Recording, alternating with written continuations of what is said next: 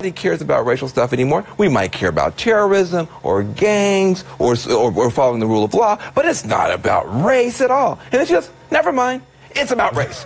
I don't care. You're, if you're not a terrorist, I don't care. You're not a gang member, I don't care. You're not on welfare, I don't care. You are brown, and I am uncomfortable. So now, well, what did we just spend the last five years talking about if the whole time we were right to feel like this feels like it's about race? And they said, no, you're playing the race card. Well, now at least we can have the honest conversation. Uh, it is it's about race. It's about race. It's about, it's about race. about race and how people view this, this country. She views it as presumably a majority white country. And if she's un, if Laura Ingraham is unhappy now, she's going to be miserable in the next generation because thanks to you know mixed mixed race marriages and immigration, Asian Americans, all, all sorts of people in this country, we are changing, like it or not. The, the country is changing. It doesn't make us less American; it just makes us more diverse. That's what she does not like. The census is now Laura Ingraham's mortal enemy. uh, Dante. Um, a quote that sticks out here, and it's fitting for all of these topics. Um, it came from the Wall Street Journal, who did some reporting on the sworn deposition that Cowboys owner Jerry Jones gave. And he says that Trump told him, when it comes to the NFL protest, this quote, this is a very winning, strong issue for me. Tell everybody, you can't win this one. This one lifts me. If that's the position of the president, what do you do with it?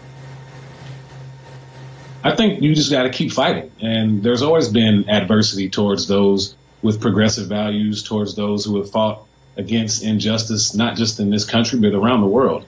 Uh, Martin Luther King fought day in and day out uh, uh against inequalities, against racial inequalities, against Uh, uh, militarism, against uh, poor people. He fought for the Poor People's Campaign, and he was assassinated. Uh, same thing with a number of other fellows around the world. And it's not unfortunately, it's something that's not going to go away. So you have to keep fighting. And, and I think that one of the best things that the players have talked about is that they've tried their best to ignore the president and continue to go mm-hmm. to the city, to their local city halls, continue to meet with uh, governors and attorneys generals, continue to donate uh, hundreds of thousands and even in, uh, in Colin Kaepernick's case, millions of dollars. Um, the players have been at the forefront of criminal justice reform, not the president. And if the president really was serious about criminal justice reform, he'd see these guys as allies and not as enemies. But of course, as we've all noted and Van Jones just said, it's about race, and he tries to downplay that it's not about race, but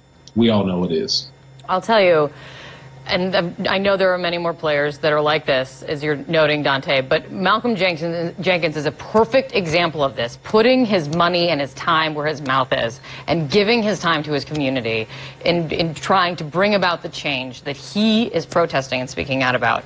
Um, they are allies and should be allies to the president is a perfect way to say it, Dante. Great to see you, Dante. Thank you so much. Raul, Van, thank, thank you, you, thank you, thank you, guys. I really appreciate it. And be sure, please, to catch Van Jones Show this weekend.